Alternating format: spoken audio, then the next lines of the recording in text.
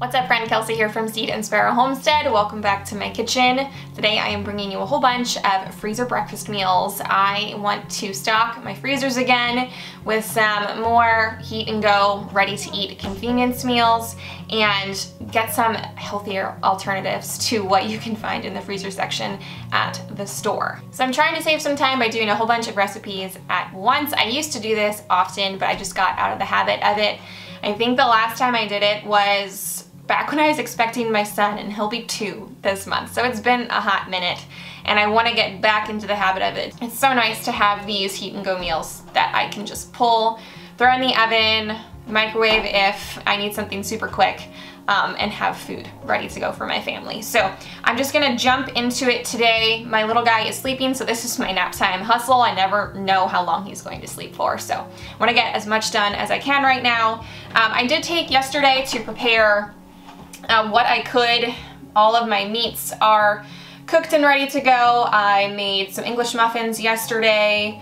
I prepared like any of the produce extra add-ins and I have all of my pans out, ingredients out, so hopefully this just goes super smooth and is as organized as I can make it. So we're gonna jump right into our first recipe today, which is some quiche.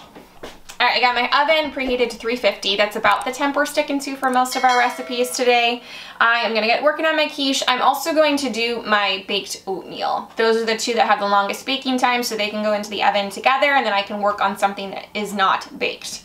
So I have a base quiche recipe, like the egg mixture, which is six eggs, a half a cup of milk, a quarter cup of heavy cream, and I always add cheese like a half cup to three quarter cup. I mean, you can add as little or as much as you want, but that's like my base recipe. And as always, down in the show notes, I will include all of today's recipes um, and I always add in some sort of seasoning, usually just a pinch of salt and pepper, but you can put whatever seasoning you want in it.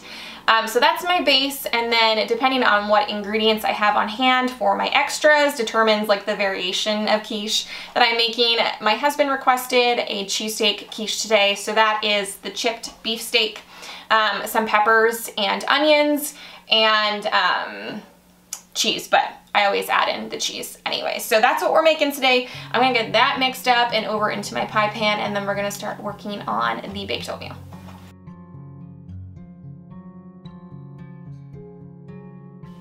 This is going to be a crustless quiche. We are not fans of the end result after the crust has been frozen with the quiche.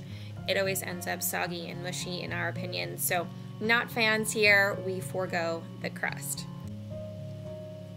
So again, this was six eggs, a half a cup of milk, a quarter cup of heavy cream, whatever seasonings you desire, and then any of the extra add-ins. I typically add about a cup to a cup and a half. And I am not a cook that typically measures things. I follow this loosely. Sometimes I'll add in more eggs, a little less milk, you really can't mess it up too bad. The consistency might just be a little bit different from time to time, but the recipe that I gave you is generally what I follow. I am adding in here some garlic powder and some onion powder for my seasonings along with some salt and pepper.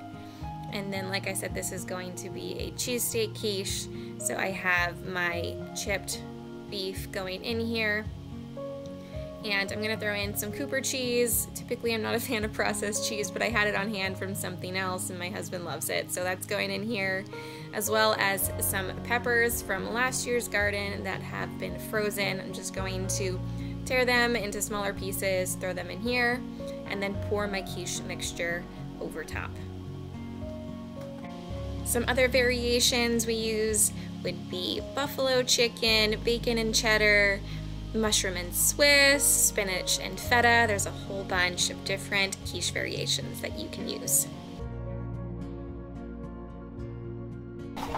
Now moving on to our baked oatmeal. I'm gonna make two loaf pans of this and I'm gonna make two different flavor variations. So I have my base recipe and then you can customize it however you want with whatever flavors you want. So I am going to actually experiment a little bit I will make sure to link the actual recipe for you all if you don't want to do these or don't have these other things to use in it.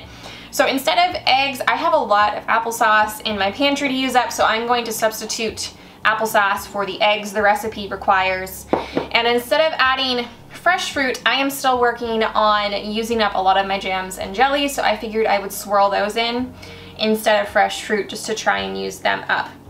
So I'm gonna get my base here mixed together with the applesauce substitute. And then once they're in the pans, I'm gonna go ahead and swirl in my jams. And then we're gonna get these two and the quiche into the oven. If you didn't know, you can substitute applesauce for eggs in baking. So for each egg that is required, you want to add in a quarter cup of applesauce. If you're ever out of eggs, but you might have some applesauce in your pantry, you can go ahead and use that. Now I am making a double recipe here, so I put in one half cup of applesauce and four cups of milk.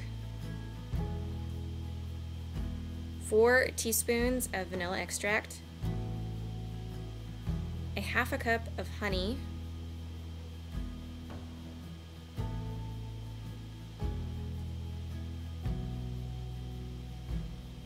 and one teaspoon of salt. I set my wet ingredients aside and I mixed up my dry, so I needed four cups of old-fashioned rolled oats. You can use the quick oats too, it doesn't really matter. Then I needed two teaspoons of baking powder, and I just threw in probably like a tablespoon's worth of cinnamon. Now, I messed this part up I don't really know what I was thinking. I should have just mixed my dry ingredients and then divided it in two and put that in the pans and then poured my wet over top. By mixing them, um, I didn't really get equal parts of the oat mixture and the wet mixture into each pan. You'll see here when I go to pour them into the pans. Um, one of them got more liquid than the other. So don't do that. You just want to put your dry ingredients in first, then you can layer on some cut fruit if you're going to use fresh fruit, and then add in your liquid over the top. So now I am putting in my jams. I actually used apple butter for one, and for the other I used some zucchini bread jam.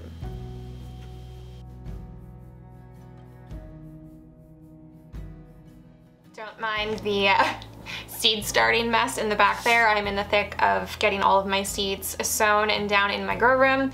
So that's real life. Um, we're gonna start working on our waffles now.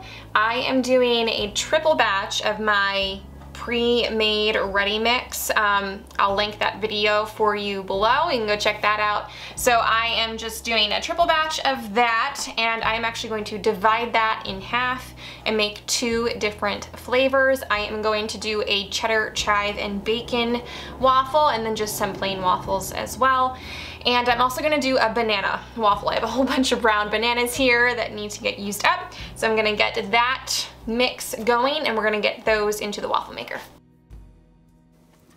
Okay, like I said, this is my pre-made waffle and pancake mix that I grabbed off the shelf. So I have six cups of that in here. I added in one cup of melted butter and I will need five cups of milk.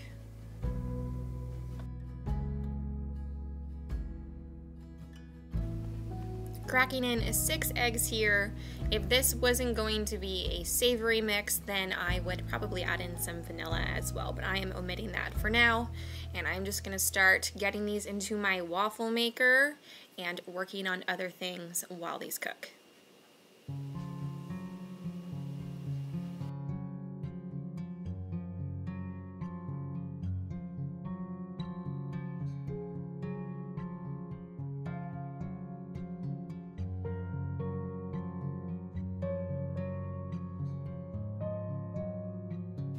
Moving on to the banana waffles. This is its own recipe. I am not using my pre-made waffle mix for this. So I am mashing up three overripe bananas. I'm going to add in a three quarter cup of buttermilk. You can also just use milk. Need two large eggs,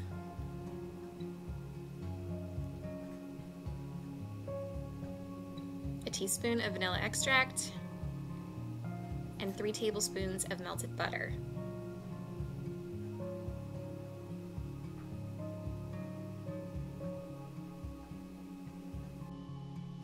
Adding in 2 tablespoons of brown sugar. I also went over how to make your own brown sugar in my last video, which I will link below. Now adding in a quarter teaspoon of salt along with some cinnamon, about a half a teaspoon or so.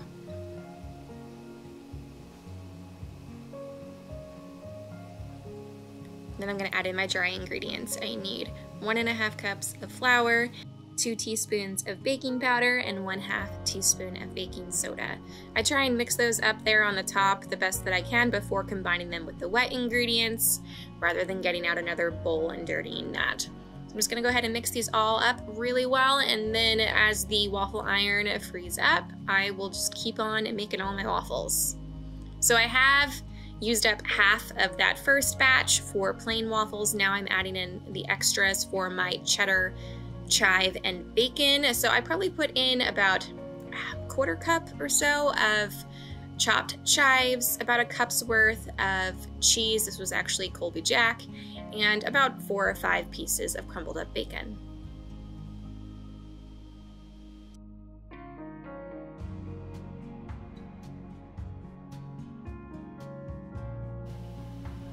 Here's what they look like coming out of the waffle maker. These are really good. We don't eat anything on them, just plain. They're good on their own, but they're also really good to use as the bread portion of a breakfast sandwich. All right, in amidst everything else we're doing, I'm gonna keep working on waffles and the things in the oven are almost done, so I'm going to get the next set of things that need to go into the oven ready. So next up, I'm going to work on my breakfast sandwiches and my sheet pan pancakes. If you've never made a sheet pan pancakes, you need to. They're life-changing. You don't have to stand over the stove and flip a million pancakes. You can just put them on a baking sheet. You can mix and match flavors and then just cut them into nice little squares and you're good to go. So we're gonna work on getting that batter ready.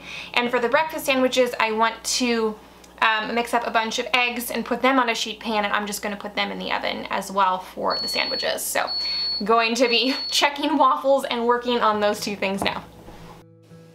Again, I am using my pre-made pancake and waffle mix here, adding in two cups of milk, two eggs, and two tablespoons of melted butter. I am also going to add in some vanilla extract to this as well, about a teaspoon's worth.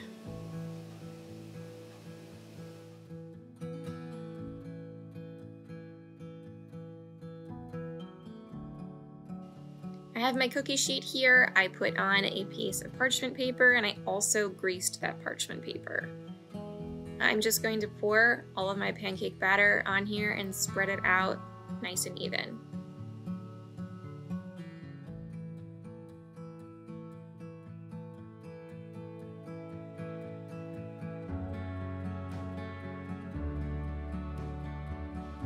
You can certainly leave these plain or you can get a little creative with it and add some different toppings.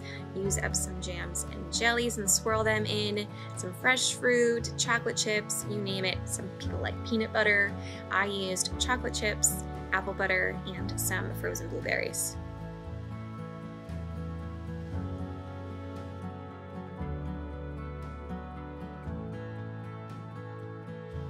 Our baked oatmeal is done, as well as the quiche.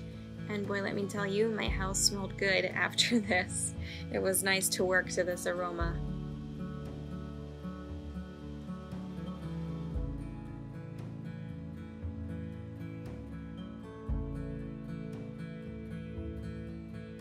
I scrambled up about a dozen eggs, a splash of milk, and some salt and pepper for the breakfast sandwiches, and I am pouring that onto a parchment lined cookie sheet. Doesn't matter if it doesn't all get filled up, but this is just an easy way to cook up the eggs. Moving on, I am going to do something that's geared more towards my kids and I'm going to make little egg cups for them. So I have this silicone um, cupcake tray here. I find it easier to get the little um, cups out of them. So all I'm going to do, I have some tater tots here and I'm gonna line the bottom of these like with two or three each in each of the little cups. And then I am going to shred some cheese and put a little bit on the top of each one. And I'm gonna make a little egg mixture. It's almost like a quiche, but not as much milk. So I'm just gonna I figure on one egg per cup about maybe a little less than that. So I have 12 here, maybe I'll do like nine or 10 eggs and then um, just a splash of milk and then I pour that on top and bake this as is. I'm gonna put it on a cookie sheet though because it's really difficult to transport this without sloshing everywhere. So I'm gonna work on that now. Make sure to grease your baking dish first. It's no fun trying to scrape egg out of these containers. So I'm just putting in my tater tots, some shredded cheese, and then I mixed up some eggs, splash of milk, and some salt and pepper, and I am just labeling that on top. They will rise a little bit, but not too much.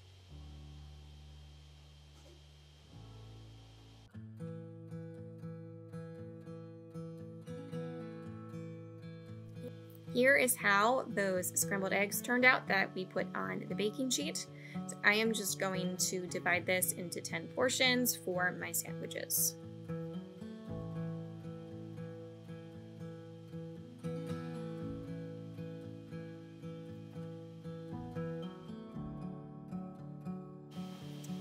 Can assemble these however you desire, whatever ingredients you want to use. So I have my egg, slice of cheese, and then a variation of meat. So I have some sausage and some bacon that I'm using today. And these are the English muffins that I made in my month's worth of bread items that I will link down below if you want to get the recipe for these English muffins and learn how to make them. I'm just going to wrap these up in some freezer paper and then each of these will go into a freezer bag as well so I can just pull them out easily as we need them.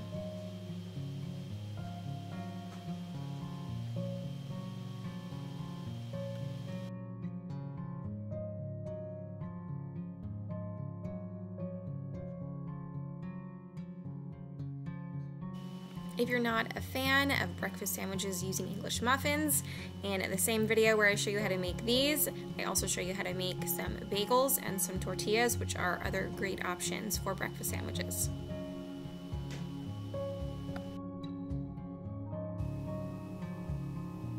On to our last recipe, which is the Pop-Tarts.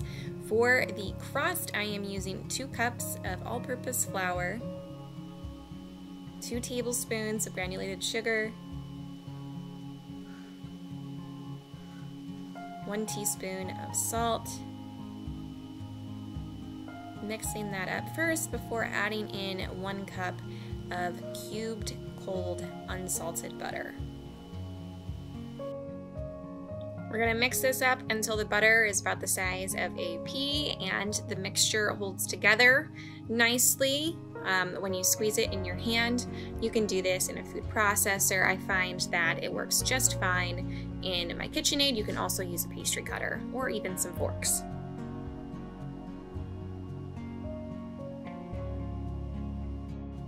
Next, I'm adding in a mixture of one egg, three tablespoons of milk, and one teaspoon of vanilla. Just going to mix this until it just comes together gonna flour my surface here and get this rolled out fairly thin, about an eighth of an inch.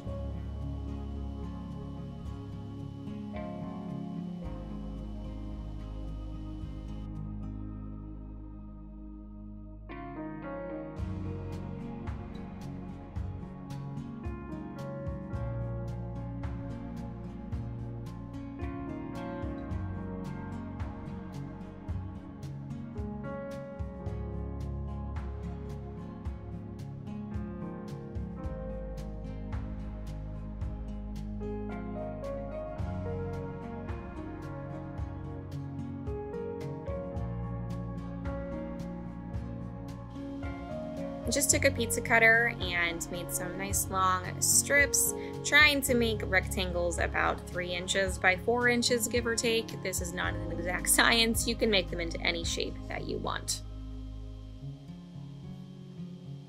Placing them on my parchment lined cookie sheet, and then I am going to work on getting the fillings in these. I am actually using up more of my jams and jellies, which if you've watched my pantry video, you've seen I have many to use up. So here I am using peach butter, and then I'm also going to use some strawberry rhubarb jam, which in hindsight wasn't a good idea because that one is a little bit runny and it just would not stay in place and ended up making an entire mess. So I'm not going to use that one again. I did add in some fresh fruit as well and got the tops on these after putting in is some egg wash to seal the top to the bottom.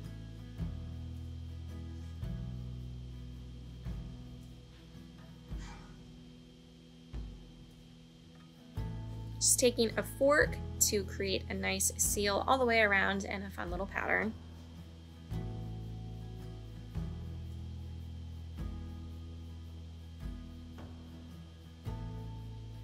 Egg wash the tops of these and get them into the oven. So despite these being pretty messy, they were pretty delicious. I wouldn't really call them Pop-Tarts though. Yeah, they do resemble a Pop-Tart, but I consider them more of like a hand pie. And honestly, when using the jams in these, they were really sweet. So it's not really something I'm gonna go for for breakfast. I mean, if you love really sweet things for breakfast, then by all means go for it. But this will just be a nice little treat for us. And then next time I make these for more of a breakfast thing, I'll just use some plain fruit. Now, I don't plan on adding any icing to these. They're far too sweet, but you can add icing to them if you desire. If you're going to freeze them, though, I would wait until they have thawed to add the icing.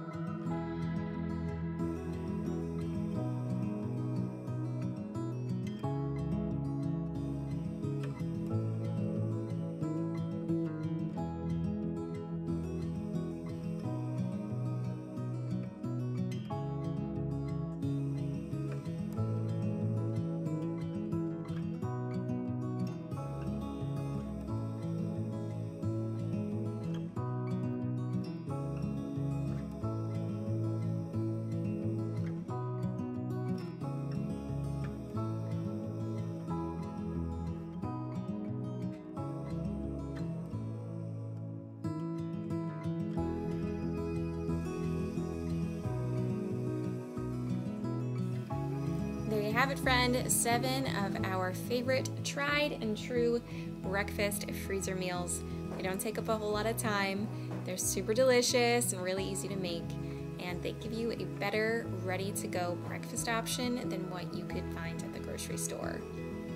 Having these breakfast meals in the freezer helps you out when you're low on time, ensures that you have good food to pull out for your family to eat when you just don't feel like cooking breakfast, maybe you want to sleep in a little bit longer because the kids were up a whole bunch last night, and I'm talking about myself right now because that happened last night. You just can't go wrong with good convenience meals. All right, I have everything completed and ready to go in the freezer. So I just wanted to quickly go over how I store these things and how I reheat them. For a lot of them, I'm just using freezer bags, the pancakes and the egg cups.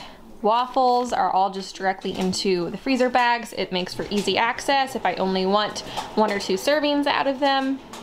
And the sandwiches here I have wrapped in freezer paper. Sorry, my dishwasher's going and the kids are playing. Uh, the sandwiches are wrapped in freezer paper and then put into the bags. My baked oatmeal here, I have saran wrap down first and then foil over top. Same with the Pop-Tart slash hand pies. The quiche is also wrapped first with saran wrap and then aluminum foil. So that's how they all go in there.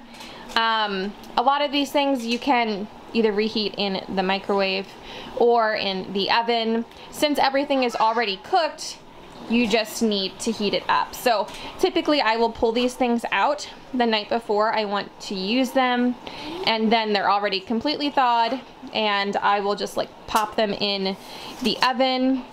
These things here like the baked oatmeal and the quiche um, they would go right into the oven like at 350 for maybe 15 minutes or so. You just kind of check until you know the center is warm.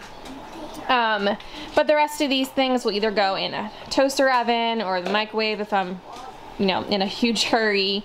I try not to use the microwave whenever possible. So all of these things can just be heated up in the oven as well. I do like to cover them though when they are being heated to kind of trap in the moisture so things don't get dried out. Um, but that's pretty much it. If I missed something or if you have another question, something more specific, just drop it in the comments and I will be sure to get back to you.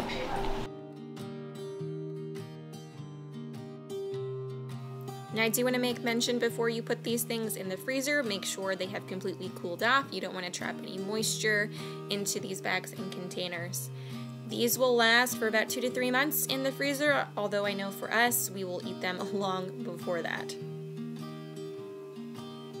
I hope you all enjoyed coming along with me today in the kitchen as we made these freezer breakfast meals.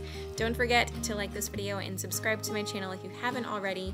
Thank you to all of you who are consistently engaging with all of my videos. We appreciate it so much. You are blessing our family by liking and commenting and sharing. It gets these videos out to more people, and we are so grateful for you all.